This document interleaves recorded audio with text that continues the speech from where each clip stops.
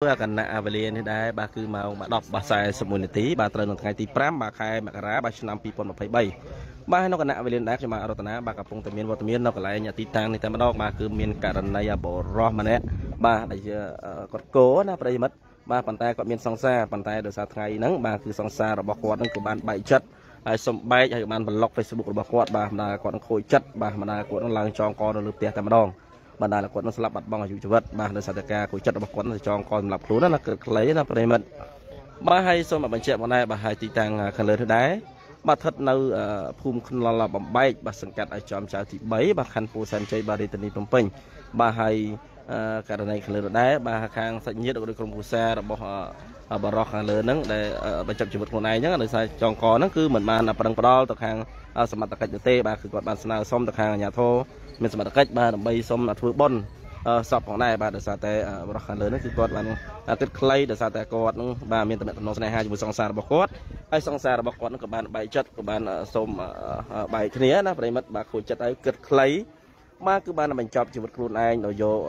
ដោយចងកណាប្រិមិត្តបាទហើយបរិះខាងលើនេះគឺឈ្មោះសុកដេតបាទអាយុ34ឆ្នាំបាទហើយគាត់ជាមនុស្សកោទេប្រិមិត្តបាទប៉ុន្តែគាត់មានសង្សារណាហើយសង្សាររបស់គាត់នឹងក៏អឺមិនដឹងជាមានបញ្ហាអីទើបក៏សំបែកបាទចឹងហើយក៏ឲ្យគាត់ បាទសម្រាប់ចិត្តបញ្ចប់ជីវិតខ្លួនឯងដោយយកខ្សែចងកសម្រាប់ខ្លួនឯងបាទហើយចឹងហើយបង្កមានការភ្ញាក់ផ្អើលដល់បងប្អូនប្រជាពលរដ្ឋដែលរស់នៅក្បែរខាងបាទក៏ដូចជាខាងសមត្ថកិច្ចមូលដ្ឋានក៏បានចុះមកដល់កន្លែងទីតាំងនេះផងដែរ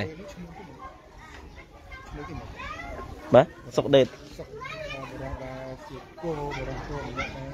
បាទសង្សារមានសង្សារមានគុណជាងម៉ែឪទៀតកូនអើយបាទបងដឹងយ៉ាងម៉េចការគិតខ្លីរបស់គាត់ណា បាទគិតខ្លីឲ្យមួយរំពេចបណ្ដាលឲ្យគាត់នឹងបាត់បង់អាយុជីវិតបាទដោយសារតែការគិតខ្លីរបស់គាត់បើសិនជាការគិតឲ្យបានវែងឆ្ងាយបាទហើយมันជាមានបញ្ហាអីទេតែគាត់គិតខ្លីពេកប្រិមិត្តបាទដោយសារតែសង្សារហ្នឹងបាទគាត់អឺសំបែកសោះគាត់សម្រាប់ចិត្តបញ្ចប់ជីវិតខ្លួនឯងហើយគាត់ជាមនុស្សគោទៀតប្រិមិត្តបាទហើយមិនដឹងថាគាត់នឹងនិយាយគ្នាយ៉ាងម៉េចជាមួយនឹងសង្សាររបស់គាត់គឺយើងមិនដឹងដែរបាទហើយឥឡូវនេះយើងឃើញហើយ បាទឥឡូវនេះទីតាំងហ្នឹងគឺមានវត្តមានខាងសមត្ថកិច្ចបាទក៏ដូចជាក្រុមគ្រួសាររបស់ជនរងគ្រោះដែលបានស្លាប់ផងដែរបាទដោយសារការចងករបស់គាត់គឺខ្លីណាបាទឥឡូវយើងឃើញហើយបាទនេះផ្ទះរបស់គាត់ហើយការចងរបស់គាត់នឹងក៏នៅជាន់លើប្រិមិត្តបាទនៅជាន់លើនេះចណ្ដាចំហៀងកន្លែងឡើងណាប្រិមិត្តបាទយើងឃើញនោះបាទហើយយើងគិតឲ្យបានវែងឆ្ងាយដោយសារតែនេះការគិតខ្លីរបស់គាត់បើសិនជាយើងគិតឲ្យបានវែងឆ្ងាយវាមិនជាអ្វីទេបាទឥឡូវនេះខាងសមត្ថកិច្ចកំពុងធ្វើកំណត់ហេតុដើម្បីបុគ្គលសពឲ្យធ្វើ ឲ្យធ្វើបន់ណាបាទនេះគឺអឺបងប្អូនជាបរិវត្តនៅទីតាំងនៅក្បែរក្បែរនឹងអត់ឈោមមើលណាប្រិមិត្តបាទនេះគឺសាច់ញាតិរបស់គាត់អូនេះប្រិមិត្តបាទគឺយកសពចុះមកក្រោមហើយប្រិមិត្តបាទឥឡូវក្រុមគ្រួសាររបស់គាត់ក៏បានលើកសពចុះមកក្រោមហើយបាទហើយបាទបានលើសពដាក់មកក្រោមហើយប្រិមិត្តដោយសារតែគាត់នឹងគឺគាត់បញ្ចប់ជីវិតណាបាទយើងមិនអាចអឺបញ្ចាំងយក សពបានទេបាទដោយសារតែបក្រាដាក់បញ្ចប់ដាក់បាទឥឡូវប្រិមិត្តយុវជនបាទគឺក៏បានចងកបាទសម្រាប់ខ្លួននៅលើផ្ទះនៅជាន់លើឯណោះប៉ុន្តែឥឡូវហ្នឹងគឺត្រូវបានខាងក្រមគ្រួសារក៏បានស្រាយដាក់ចុះមកក្រោមហើយលើកយកមកក្រោមមកដើម្បីរៀបចំធ្វើបន់ទៅតាមប្រពៃណីផងដែរបាទហើយក្រុមគ្រួសារក៏មានការត្រេស្រែករហូយំបាទ សោកស្ដាយដោយសារតែគាត់គិតខ្លីមួយរំពេចដោយការចងកសម្រាប់ខ្លួនរបស់គាត់ដោយសារតែគាត់ខូចចិត្តនឹងសង្សាររបស់គាត់ហើយបរោះខាងលើនឹងដែរគឺមានឈ្មោះសុកដេតបាទអាយុ34ឆ្នាំមានទីលំនៅនៅភូមិខ្នល់បំបែកបាទសង្កាត់អាចំចៅទី3បាទខណ្ឌពោធិ៍សែនជ័យបាទរាជធានីភ្នំពេញបាទហើយកម្មករមានការភ្ញាក់ផ្អើលផងដែរបាទហើយឥឡូវនេះសមត្ថកិច្ចជំនាញ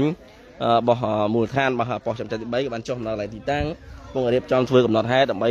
ឲ្យក្រុមគ្រួសាររបស់គាត់នឹងធ្វើបុណ្យទៅតាមប្រពៃណីដោយសារតែក្រុមគ្រួសាររបស់គាត់មិនបានប្តឹងផ្ដល់អ្វីនោះទេបាទគឺគាត់សុំទៅយកសពខាងលើធ្វើបុណ្យទៅតាមប្រពៃណីតែប៉ុណ្ណោះបាទឥឡូវនេះគឺអូបាក់ក្រែហ្មង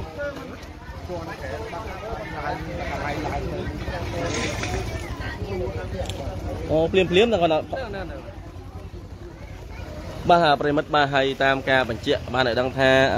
មុននឹងមានការភ្ញាក់ផ្អើលហ្នឹងដោយសារតែបរោះខាងលើហ្នឹងគឺគាត់ជន់ក្រេបាក់មួយប្រាវបាទឡើងជន់ក្រេបាក់ណា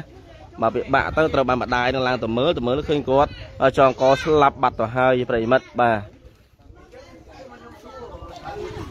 បាទហើយក៏សូមចូលរួមរំលែកទុកនៃក្រមគ្រួសារនៃជនក្នុងគ្រោះផងដែរដែលគាត់បានស្លាប់បាត់បង់ជីវិតដោយសារតែការចងកណាប្រិមិត្តបាទអឺសពនឹងណាអ្នកកាត់ខ្សែនោះអញ្ចឹង ដាច់ខ្សែមកចឹង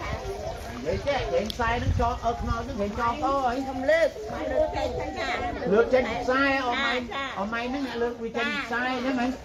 បាទឈ្មោះអីគេអមៃឈ្មោះអីម៉ាងឡាអញ្ចឹងបានន័យវាសពនឹងពួកទេមិនអញ្ចឹងណាបាទពួកកដល់ពេលហើយលើកវាឡើងដើម្បីឲ្យផុតខ្សែហ្នឹងក៏តម្លាក់វាចុះមកមិនអញ្ចឹងហ៎បាទឈ្មោះអីគេអមៃឈ្មោះអីម៉ាងឡា ងម៉ាងឡាឡាឡាម៉ាងឡាម៉ាងឡាគេណាភ្លឺគាត់មួយនេះយកគាត់ភ្លឺមួយមកមកអីនិយាយតែធំបកើតែធំបកើធំបកើធំម៉ែដល់មកគេនិយាយលឿនណាមេសួរគាត់មកជើងជើងជើងគាត់នេះខ្ញុំធ្វើនេះឲ្យយកអីមួយគេណែភ្លឺគាត់មួយ បាទប្រិមិត្តបាទនេះគឺលោកអ៊ំបាទដែលជាម្ដាយធំណាដល់ពេលដាក់លើវាចំមកបាក់ក្រែទៅ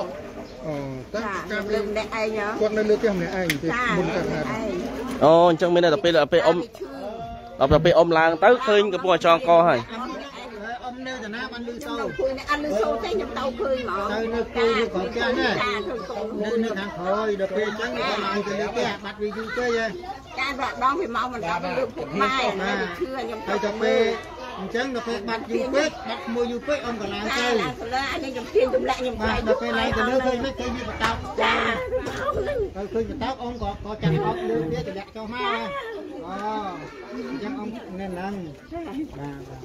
បាទបងភ្លឺគាត់ទៅព្រោះគាត់អ្នកផ្ទាល់អញ្ចឹងដល់មូលហេតុដែលអ៊ំស្រីនេះគាត់ត្រូវជាម្ដាយចំបោះសាក់សពនឹងប្រការម្ដាយធំម្ដាយធំម្ដាយធំអញ្ចឹងម្ដាយធំតាំងពីទូចមកម្ដាយធំគាត់ចាំហើយចឹងសាក់សពនោះគាត់តែកទេបងចុះក៏មានមកដាស់នេះក៏មានមកអីមានប៉ុន្មាននៅខេត្តមកនៅខ្លួនឯងហ្នឹងកុំតែទៅប្រាក់មិញហ្នឹងអូគាត់អត់ឲ្យធ្វើដែរ ដល់ពេលបាត់យូរពេកអងក៏ឡើងទៅមើលឡើងទៅមើលឃើញតែចាហ្នឹងក៏ពងតែពួកក៏ពួកក៏អងក៏ចាប់ហើយជនក្នុងគ្រួហើយមានមានឈ្មោះហើយដែរបងអឺជនក្នុងគ្រួគាត់ស្លាប់ណាសុកដេតអាយុ30 34ឆ្នាំហ្នឹងណាអញ្ចឹងគាត់មានមុខរបរជាអ្នកកាប់សម្បត្តិកង់សម្បត្តិម៉ូតូនៅសាលារៀនហ្មងណាអូហើយហើយដល់ ទៅម៉ានទៅថាអត់ទៅណាហើយណាមួយទៅថានិយាយទូរស័ព្ទមួយទៅហ្នឹងហើយតាមរយៈពពកតាម Facebook ហ្នឹងហើយហ្នឹងហើយឆាតអូខេហ្មងហ្នឹង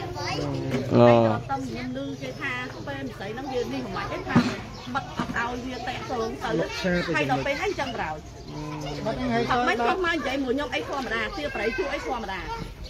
ខ្ញុំទៅលក់ដល់ពេលតំកូនតាមមកវិញថា គូដេតចងកអូហើយដល់ពេល